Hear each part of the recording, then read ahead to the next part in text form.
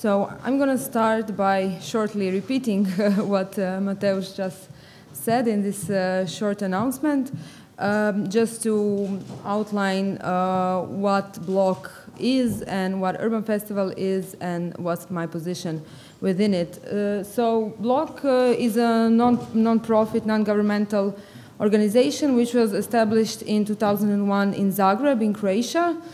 Uh, so it was, in a way, a long time ago. So uh, it was it functioned as a platform, a rather flexible platform for a larger group of people who were in different ways uh, going through the organization and contributing to the program. Now, since last uh, few years, there's three of us. We are more or less a steady collective.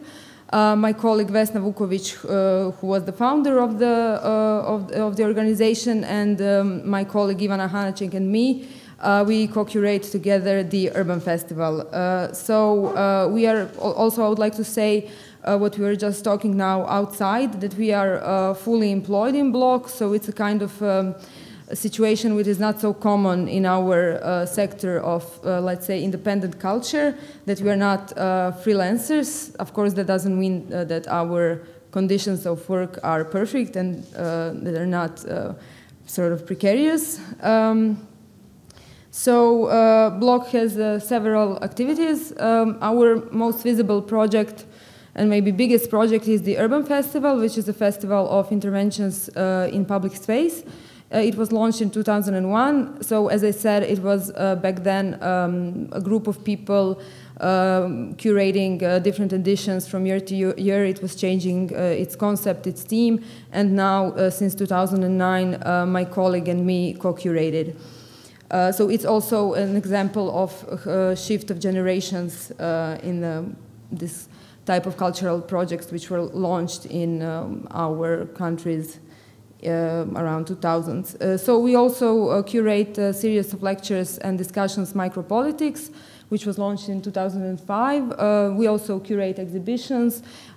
we publish um, different editions connected to our practice. Uh, we also engage in long-term research projects, uh, and also a very important part of our activity uh, is uh, the public debate, which sometimes becomes a public struggle concerning the transformation of the public space. But I would like to add not only public space, but also uh, public resources in general, especially um, uh, public resources connected with the production of culture. Um, I mean here um, public cultural institutions seen as a public good. Uh, so Urban Festival is actually uh, based around uh, new artistic productions. Uh, so uh, for, the, uh, for each edition of the festival, we call artists local and foreign as well to do new projects which are based on a research of specific sites and specific local spatial policies.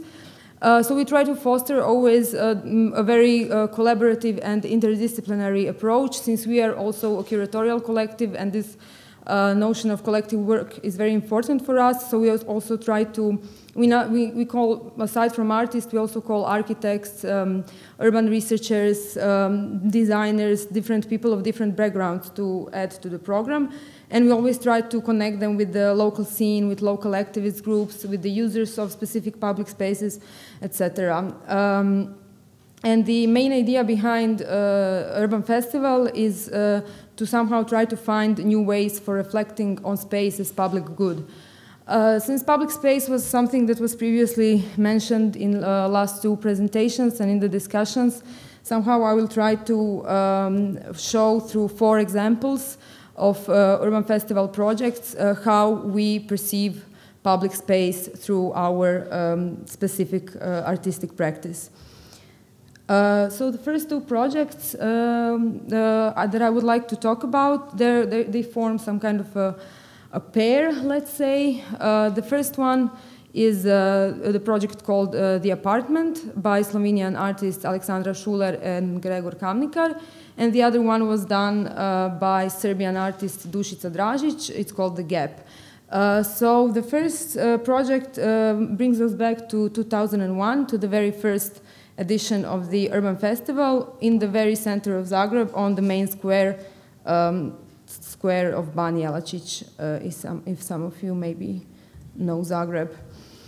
Uh, so uh, this project, uh, what it did, uh, it created an enclosed area of a private residency with, within a public square. So it should be mentioned that this square is really uh, a central point for Zagreb and for its uh, symbolic life, and it's uh, like a public spa space uh, par excellence uh, in this symbolic way.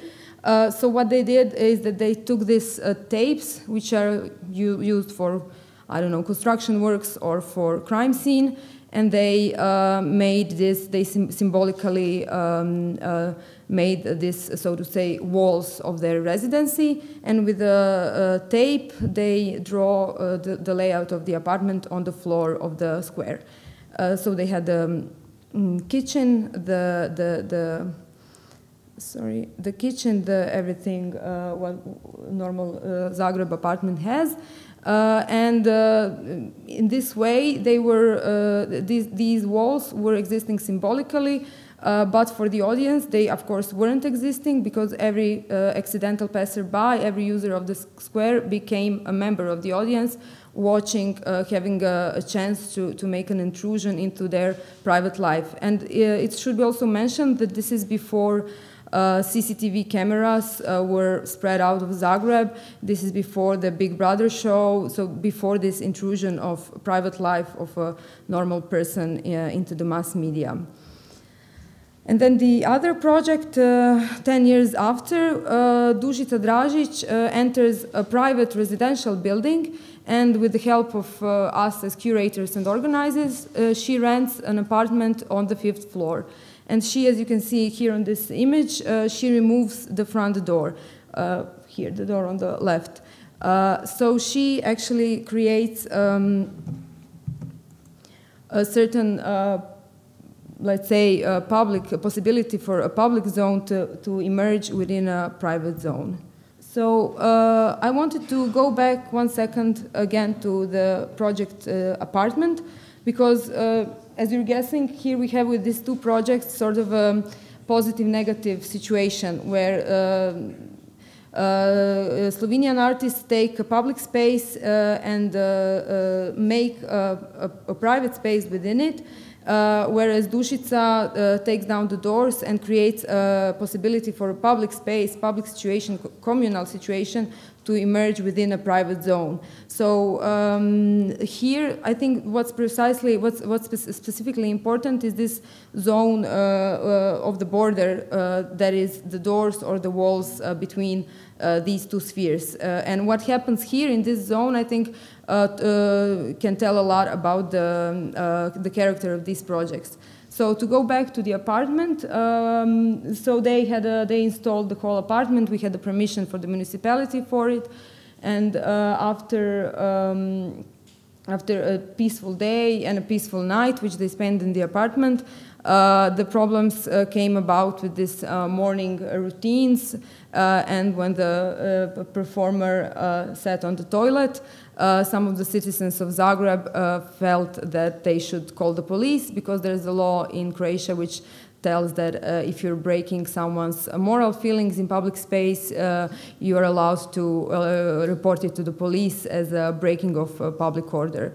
Uh, so when the policeman came, he was obliged to come and he wanted to address the performers, but he was outside of their apartment.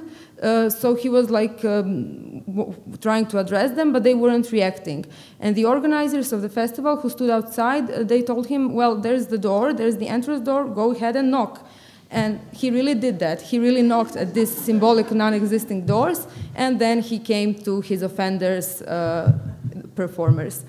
Uh, so this uh, true anecdote shows that uh, what is important is that uh, all these projects have to be uh, in a way supported by their audiences. And their audiences here extend to these policemen, to us as organizers. So these projects demand a certain trust from the audience, a certain they, they, become, in, a, in a certain way, accomplices in the whole project. And it's also interesting to mention in the project Gap by Dušica Dražić, uh, people who were uh, who wanted to visit the apartment, uh, who were climbing up the fifth floor, but then decided not to enter because they felt a feeling of uh, distrust, of unease, of fear, because they were in a way afraid of what is waiting behind this open door. So all these examples, I think, uh, draw to two interesting conclusions. And one is that the notion of audience is in projects such as these uh, radically uh, changed and uh, has to be redefined. so the audience is, is performing the project in a way which um, can change also the course of the project. And what is also here important is the notion of the control. Uh, which is uh, in a way uh, lacking in the projects such as these. So uh, Dušica Dražić also in an in interview that we did with her, she stated that when she uh, embarked on this uh, uh GAP project, she uh, basically denied the control over the course of the project. And in the end, she decided to finish it earlier uh, than planned because of the way things were evolving with other participants in the projects. And also this project was ended uh, also earlier, although we had the permission, but because of the reactions of the people. Uh, so um, uh, uh, in a way, also in this process, what, is, what was very also important for us as curators and organizers is the fact that our positions here, position here is quite different than when working in a white cube or in a theater behind these protective walls of the institutions. So we are somehow not innocent in this whole process of performing. Uh, and the other conclusion that I would like to draw attention to is the one that maybe tells more about the character of the public sphere itself. Uh, and that is that uh, maybe pu public space shouldn't be perceived only as physical, urban, accessible to all space, but maybe, uh, maybe not even as a space which exists per se, but as a space which is being performed and which is being created through all these specific acts and performances of different actors uh, in the field. Um, so uh, this is somehow uh, the way um, uh, also uh, for us, uh, the way we think of through our projects, the way we think about public space. So picking up on these two ideas, I'd like to show um, other two projects which we did recently in 2014 and a few months ago. Uh, so if the apartment and gap projects were about private and public and about this borderline zone between uh, private and public and how to uh, provoke uh, zones of public within private, uh, then in a way we could say that these two projects are about the sphere, of um, economic production or industrial production on one side, and on the other side, the sphere of um, public space as representative uh, space of the society. Uh, but uh, rather than uh, looking at these two spheres through as a binary opposition, uh, we wanted to, in these two projects specifically, we wanted to show how they connect and how uh, different social and economic processes uh, shape them uh, in, a, in, a, in a common way, shape them uh, in a way that they are all part of the same bigger story. so in the first project, Ship Equals City, uh, we collaborated with Rafaela Dražić, and it's also interesting uh, that uh, we are co-signing the project with her.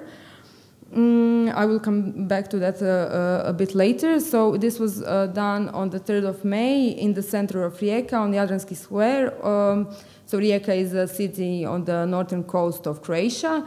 Uh, and uh, we were invited by um, the Museum of Modern and Contemporary Art uh, there, who did a project called Copula. So we participated there. Um, uh, and uh, we started to work with uh, Rafaela Dražić. She's a designer from Zagreb, from Croatia, who did several projects in which she used graphic designs, design as a, in a way, as a social tool to address different political and social questions. And so she was like combining art activism and design in a very hybrid and interesting way. Uh, so we called her to collaborate, collaborate already in Urban Festival 11.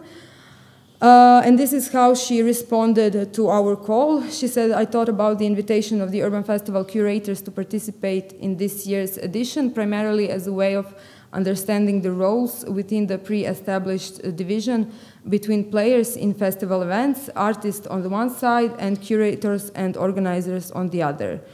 Mm, uh, she says, I was interested in whether it is possible to and how to realize uh, activist work within the formal organization of the festival and re-examine defined relations of initiators and authors from the perspective of the everyday practice of graphical designers who does not work for but with someone. Uh, so in this uh, specific project that we realized uh, together with her in 2011, uh, we were dealing with the um, business of uh, biggest Croatian corporation it's um, its main business is food industries. It's called Agrokor. Uh, and we were trying to address critically the businesses of this corporation. Uh, and we also added another layer of uh, uh, collaboration in the project since we decided to call different journalists, activists, researchers, designers who were somehow marginalized in the mainstream media when talking critically about this company and its business. I mean, it's like the problems of this company are typical. It, has been built up on the war uh, uh, war gains, uh, muddy business during the war, and now it mistreats um, the workers, it uh, uh exploits uh, the land, it uh, ruins small producers of the food, and so on. It takes on all the European Union um, subsidies, and so on.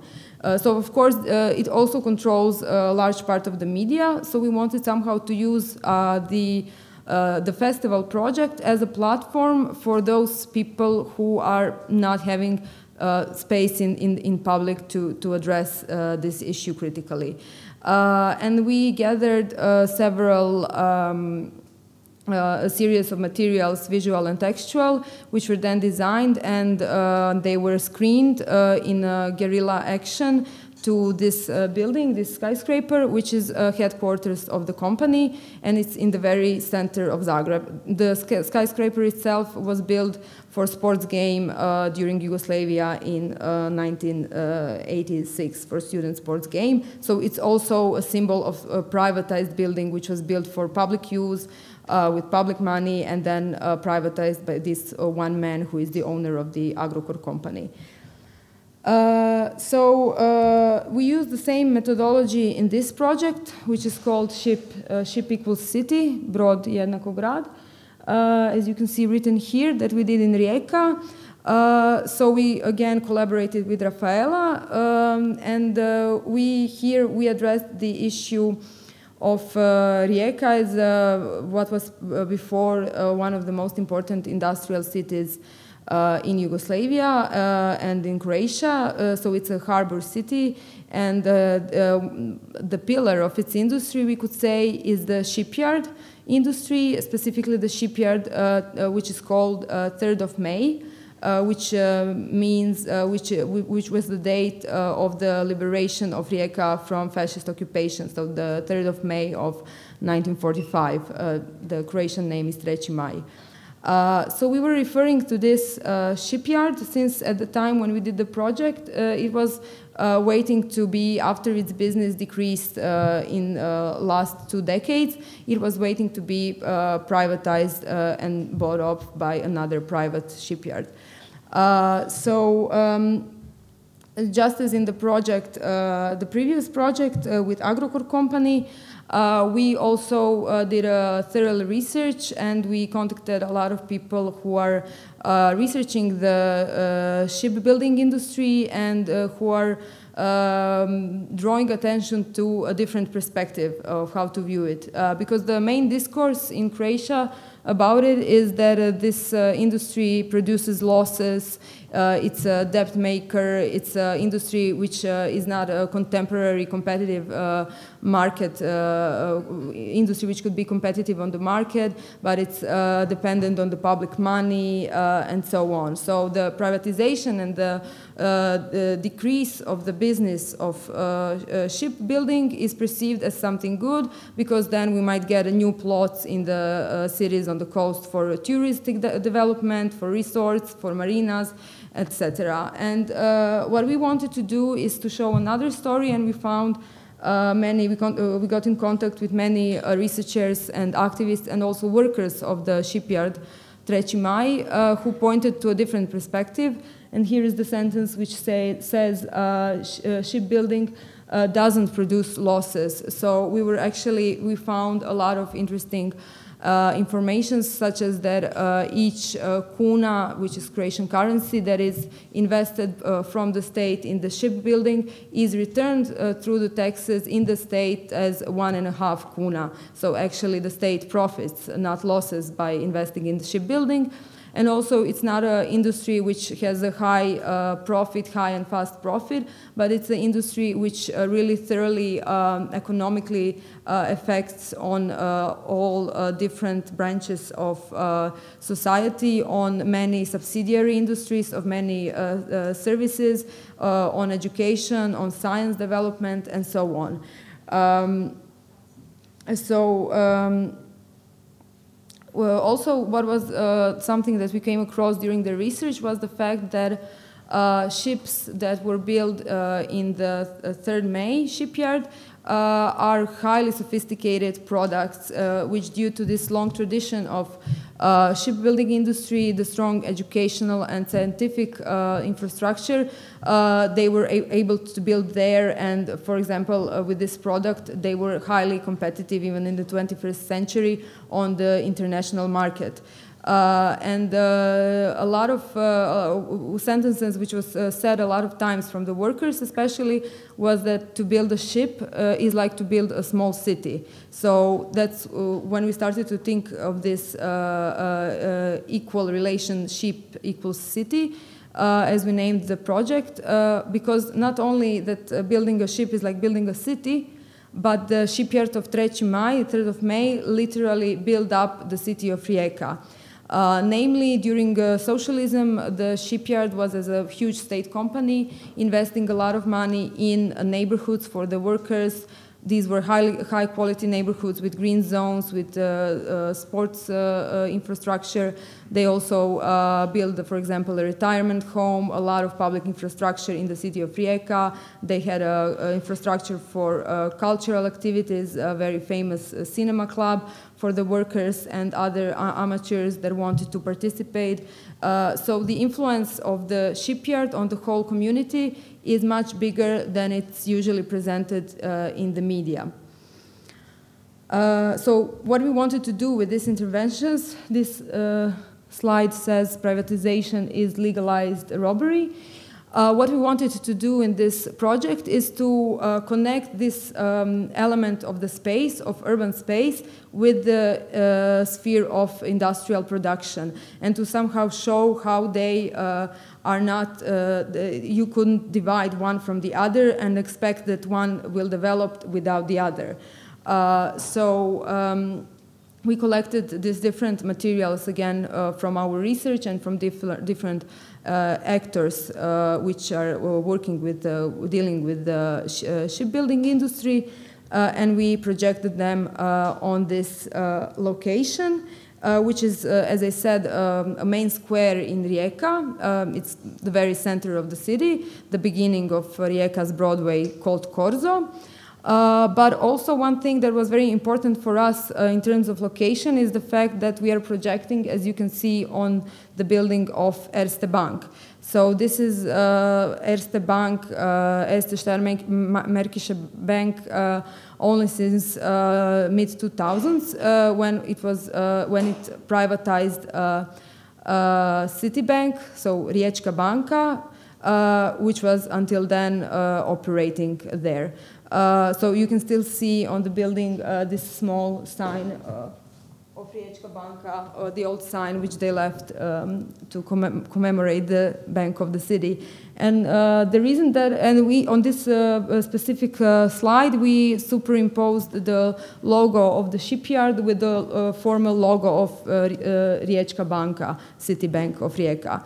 And what was important also about this bank is the fact that the bank, when it was not privately owned and it, when it was the city bank, it was uh, functioning actually as a link between the uh, ship uh, shipbuilding industry, but also other huge industries, uh, and the public budget. So uh, the the bank was. Um, giving cheap loans to the uh, industries, to huge industries, industries which enable them to develop their infrastructure and to develop their business. And on the other hand, it sucked up the surplus value of, the, of these huge companies and uh, uh distributed it in uh, the public sector. So um, many of the wor workers from the 3rd of May uh, say today that uh, without a national bank which would care for the development of the industry, the, the complex industries such as shipbuilding is actually impossible to maintain with private banks. Uh, so uh, otherwise, it's also interesting that uh, the bank was, uh, the, the space in front of the bank was a very popular place for people to hang around, uh, and even they named it in front of the Bank of Rijeka, ispred Riječke. So this like is the popular name for this square of the city, although now the bank is not Riječka anymore. And this is the last slide which we showed in this section, which calls all the workers to strike. Because while working and researching, we also uh, became close to workers who were uh, very uh, active about their position and very active about um, trying to preserve the production in the company and not letting the uh, production decrease because of different uh, private interests. Uh, and then the next uh, and last project that I will talk about uh, is um, somehow the continuation of this uh, same idea uh, of uh, overlapping the representative city square and, um, and the question of industry and deindustrialization. so in this project, we collaborated with Croatian artist and uh, choreographer Selma Banich, and we were invited by a small festival which is called Culture Shock uh, to collaborate as urban festival to make a, a project uh, in Križevci, which is a small town uh, near some 80 kilometers from Zagreb. Uh, so uh, similar to the methodology that we used uh, while collaborating with Rafaela, we also called Selma Banich here to be the co-author together with us, and we started together a research. Um, so uh, uh, the, the intervention consisted of uh, intervention on the public square and the series of posters. One of the posters you can see here, they were distributed all over the city. And Križevčanka, the name of the project, it means woman from Križevci. Uh, and uh, this uh, image that you can see here of a sort of a medieval section, anatomic section of women's body, is connected with the very beginning of our research, where we found out the story about a woman from the 18th century Križevci called Magda Herucina, and she was she entered history as a, the last witch because she was accused of witchcraft, uh, but then she was, uh, according to the newly passed law, she was sent to Vienna to the court of uh, Maria Theresia, who examined her thoroughly and decided that she is, after all, not a witch, but just a poor, uh, mistreated woman. And after this case, they decided to uh, stop accusing women of witchcraft because it was too expensive to send them to Vienna with the possibility they might come back. Uh, so we were thinking of uh, how to um, how to translate this uh, whole history of uh, uh, accusations for witchcraft into today's society, and if this, that was a, a way of systemic violence over women and a way of um, taking control over their work and their ownership uh, we wanted to see what's, what's the today's analogy. Uh, so we started to research uh, how are the women from Križevci today uh, living and what's their economic position and what's their position uh, on labor market. So we found out many interesting informations, which we uh, printed then on these posters. Uh, and the previous one said uh, burned on this square, which directly referred to the story of Magda. Uh, while this one says uh, 3,774 women from Križevci live without steady income. So these are some informations that we find out. So it's a uh, uh, we are talking about uh, 11,000 women living in Križevci, so almost 4,000 living without income. Um, and uh, only uh, 3,000 of them has uh, income out of steady labor. So there is also a huge number of women who are working only temporarily in conditions which can be hardly controlled. Uh, and of course, uh, this whole uh, statistics about uh, unemployment and conditions uh, on the labor market uh, had to be connected with the story of the local industry. So Križevci was a city, it's a town, it's, a, it's, a very, it's rather small, but it was a very important industrial center for that part of Croatia from the 19th century on. It developed its industry and um, it had uh, during socialism, it had many factories such as uh, Čelik, Kalničanka, Slon, uh, Križevčanka, etc. So they were producing uh, all kinds of uh, range, uh, the whole range of products. And we were particularly interested in this uh, factory, which is called Križevčanka, as the project meaning woman from Križevci, which was at the time a common practice to call factories according to uh, female inhabitants of the cities. Uh, and uh, all these factories uh, today are not existing anymore or are existing like uh, with a radically decreased production, uh, employing maybe a few hundred people, even if so, and before they employed thousands of people. So uh, on, our, uh, on one of our uh, research visits to Križevci, we passed by uh, this uh, old complex of Križevčanka, which is now basically in ruins, and we uh, discovered that we can enter, and so we entered the complex, and walking around the halls of the factory, we found this scene. So this was taken in the factory. these are workers' suits, which were hanged there on a rope as if they are waiting for workers to come on the next working day and to dress up and start to work, which will not happen, obviously. So we were very impressed by this uh, scene. Uh, and we decided in the end that we want to just reenact it again on the public square of Križevci uh, in the very center of the city. Uh, so this is we collected the the um, suits and we installed these ropes and made this kind of a triangle between the lamps on the, on the central city, on the central square.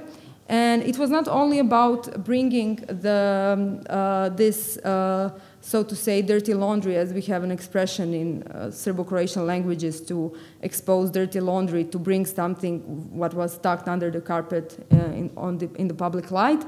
Uh, it was not only about bringing in in the central square, but it was uh, also commenting on this square itself, because it has uh, its own history of uh, devastation, uh, which uh, was parallel in time with the privatization and closing off of Križevčanka. So this square that you see here was built in 2008, and before this zone was um, also a public square. Uh, but it was uh, a green area. It was a park with uh, very old uh, high trees, uh, with a fountain. It was uh, one of the green oases in the cities, which was like the most popular spot in the town. whole generations were using it, um, and it was a public space in a real sense of the word. Uh, and then in 2005, the local government decided to make an open call for a project for the renovation of the uh, square, and this was elected. Uh, and uh, they announced to start the cutting off of uh, the trees and um, the whole uh, infrastructure that was there before. There was also a local activist uh, petition around it, the whole struggle to preserve the place as it once was, but they uh, didn't succeed, so the place was uh, renovated. And what we can see here that this renovation is actually uh, completely clearing the whole space and making it like a completely clean space uh, with, uh, without any of these elements uh, that made it before uh, likable for the, for the citizens. Uh, so it was obvious that this wasn't done according to the public will, but according to some private interests. so one of the points to which, um, to which the activists during this initiative for the old square uh, pointed to was the fact that while the city is investing 12 million kunas uh, into this so-called renovation, uh, just a few streets away, the Križevčanka factory is in debt and uh, laying off workers. So why not investing in a factory and working places? Why imposing a renovation which nobody actually wants? And now the square is not used by anyone. It's like a, a blank spot in the city. So this is actually the point that we wanted to make with this uh, intervention. It's just a video documentation of the uh, intervention uh, and um, to um, come closer to the conclusions. So if we, um, if we remember of the projects uh, GAP and Apartment, which showed that the private sphere and public sphere are not fixed and that they are easily reversed. Uh, these uh, two projects that I talked about uh, also, uh, we could say that here also we are, we are dealing with the boundary between private and public in a way, since we are talking about uh, privatized companies, privatized banks, uh, and in the end also public space, urban space, which is not anymore led by public interest but by private interest. Um, so uh, our intention was in this project precisely with this simple gesture of uh, displacements of uh, a scene found in a rundown factory of displacing it on the public square uh, to show how these processes are connected uh, and also to try to, uh, to, to, to bring something from the private sphere out in the public. Uh, and uh, this was also as the policeman in the uh, apartment project knocked on the door uh, of the unexisting, the, knocked on the unexisting doors. the same here, the same thing happened here when the um, when the uh, city government uh, found out about the project, uh, we asked for permission. They gave us a permission, but they wanted somehow to soften the whole thing, and they asked us to move it away on a different place, on a different location on the square, which is less visible and which is not actually functioning. And instead of uh, keeping it for the whole festival, they uh, gave us a permission only for three days. So of course we disobeyed and we put the workers' suits on the place we wanted. Uh, and the day after they were uh, removed by the city government, so the whole installation wasn't on for more than 45 hours.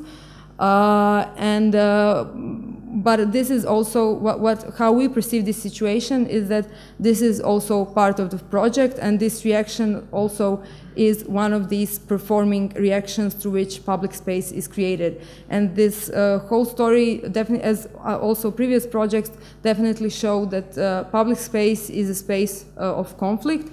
And we shouldn't escape from this conflict, but we should work with this conflict and try to show processes which cause it. So uh, in this project, we were uh, in the end very happy because at least for these 48 hours, we managed to uh, transform this square again into a public zone where people were gathering, commenting the installation, and very easily they could understand what we wanted to say, and they were uh, discussing the uh, deindustrialization of the city, their own conditions of work, uh, the situation with the public spaces and with urban, with the local government, and in this way, uh, this uh, public sphere again emerged. Thank you.